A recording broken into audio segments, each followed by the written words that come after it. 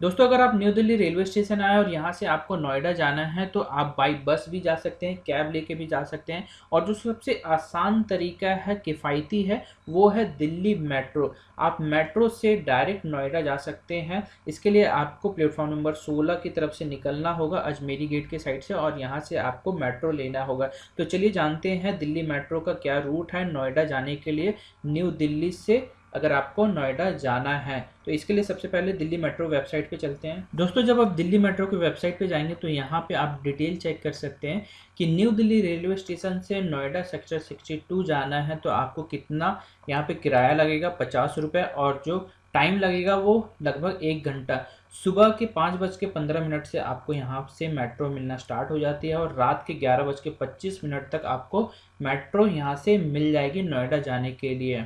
तो यहाँ पे अगर आपको नोएडा सेक्टर 15, 16 इन सब जगहों के लिए आपको मेट्रो इजीली मिल जाएगी न्यू दिल्ली रेलवे स्टेशन से। और जो रूट पड़ता है वो न्यू दिल्ली से सबसे पहले आपको राजीव चौक जाना होगा बिल्कुल नेक्स्ट स्टॉपेज है। और उसके बाद आपको ब्लू लाइन लेना है राजीव चौक से। जो ब्लू लाइन लेना है आपको नोएडा सेक्टर 62 के लिए लेना है। अब यहाँ पे जब आप राजीव चौक जाएँगे तो आपको दो ब्लू लाइन वहाँ से ट्रेन मिलेंगी।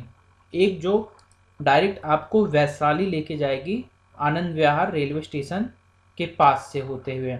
लेकिन अगर आप नोएडा जानना चाहते हैं तो आपको यहाँ से राजू चौक आना पड़ेगा और ये जो ब्लू लाइन है इसे लेकर के आप सीधा नोएडा पहुँच सकते हैं। नोएडा सेक्टर 62, 59, 61 इस तरीके से जहाँ पे भी आपको जाना है आप इजीली राज़ी चौक से चेंज करके जा सकते हैं।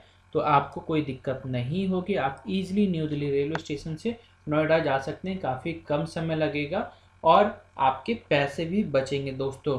यहाँ से बस वैशाली वाली नहीं लेना है आपको, नोएडा वाली लेना है। दो यहाँ से मेट्रो आपको मिलेगी राजीव चौक से सेम कलर ब्लू लाइन वाली। तो अगर आप इसे ले लेते हैं तो आप सीधा आनंद विहार पहुँच जाएँगे और अगर आप नोएडा वाली लेते हैं तो आप नोएडा पहुँच सकते हैं दोस्तों। तो ये रूट है न्यू दिल्ली से नोएडा जाने के लिए बाई मेट्रो दोस्तों। अगर आपको अभी भी कोई कन्फ्यूज़न है मेट्रो से रिलेटेड तो आप मुझे कमेंट बॉक्स में कमेंट करके पूछ सकते हैं। ये वीडियो अगर आपको हेल्पफुल लगी तो प्लीज़ वीडियो को लाइक कीजिए और अपने दोस्तों को शेयर कीजिए और साथ में चैनल को सब्सक्राइब कर लीजिए। तो आज की वीडियो के लिए बस इतना ही। मिलते हैं एक और नए वीडियो के साथ। तब तक के लिए take care bye bye thanks for watching